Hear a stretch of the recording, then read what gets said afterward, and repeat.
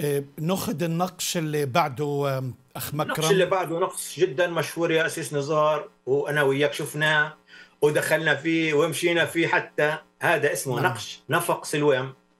يعود للقرن الثامن قبل الميلاد يعني 700 قبل الميلاد.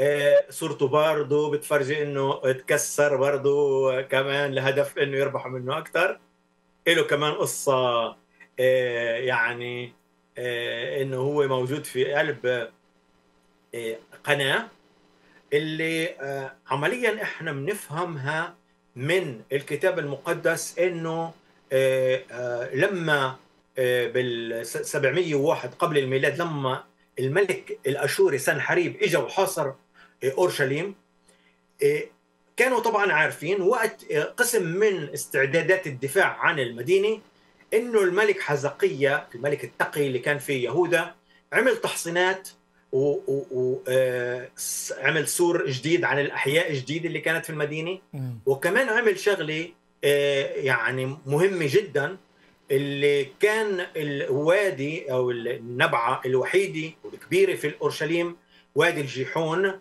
اللي آه، بنعرفها لحد اليوم كانت كانت خارج الأسوار. فراح عمل آه، شيء كثير مهم إنه حول مية الوادي لبركه عملها في الداخل في في في داخل الأسوار اللي اليوم بنعرفها اسمها بركة سلوام.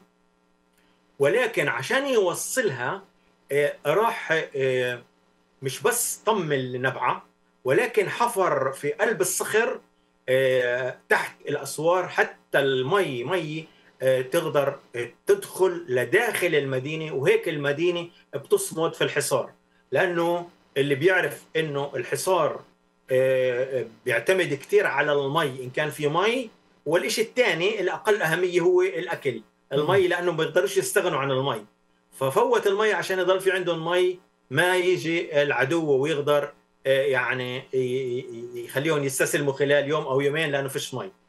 وهذا اللي بنشوفه إحنا في آه، أخبار الأيام صح 32 إنه الملك حزقية تشاور هو الرؤساء طموا مياه العيون وخارج المدينة وراح سد مخرج مياه الجحون الأعلى ونزلها تحت الجهة الغربية من مدينة داوود. آه، اللي بنعرفها اسمها القناة. القناة جميلة آه، وموجودة بتشهد في قلبها هذا الكتابة اللي بتحكي عن عن آخر يوم في الحفرية القناة طولها حوالي نص كيلو 533 متر. العملية كانت هندسية جميلة لكن الإشي كان أنه هن كانوا يحفروا من شقتين من من منطقة ومن منطقة.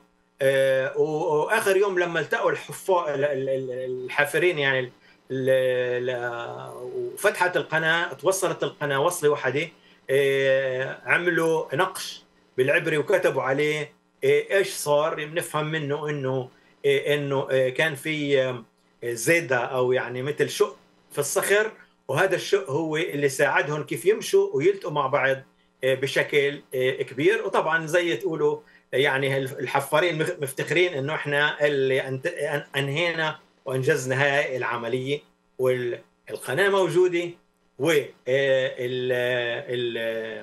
والنقش موجود ولكن موجود في تركيا لأنه لأنه اليهود والمسيحيين اختلفوا مين بده يأخذه فكان الحكام وقتها هم العثمانيين فالعثمانيين قالوا لهم كل شيء بتختلفوا عليه أنا إحنا بنأخذه.